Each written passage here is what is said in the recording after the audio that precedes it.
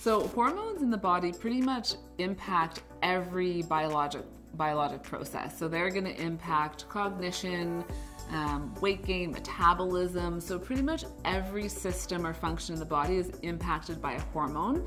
Hormones are sort of chemical messengers. And so, if there's an imbalance in a hormone, it's not just an imbalance in one system, it has downstream effects that impacts everything else. A really good example of that um, is estrogen, for example. There's something called estrogen dominance.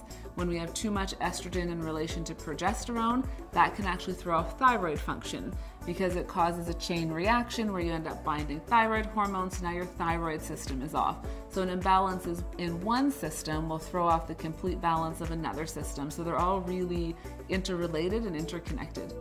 So, talking about leptin and ghrelin, those are both hormones that control satiety. So, leptin is a hormone that says I'm full, ghrelin is a hormone that says I want to eat.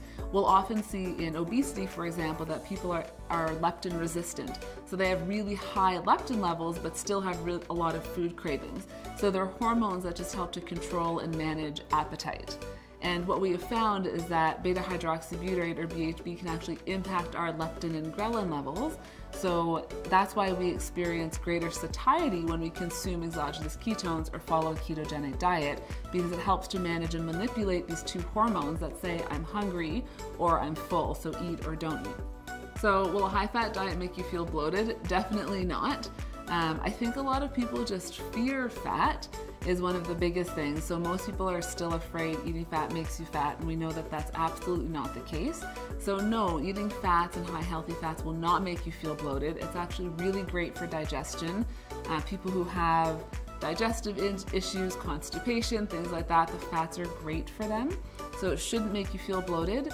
Uh, the only people who might have an issue is if they don't have a gallbladder, because eating a high fat diet, you need your gallbladder to help break the fat down. So they just might need some digestive enzymes and things like that. But the fats are key in your diet.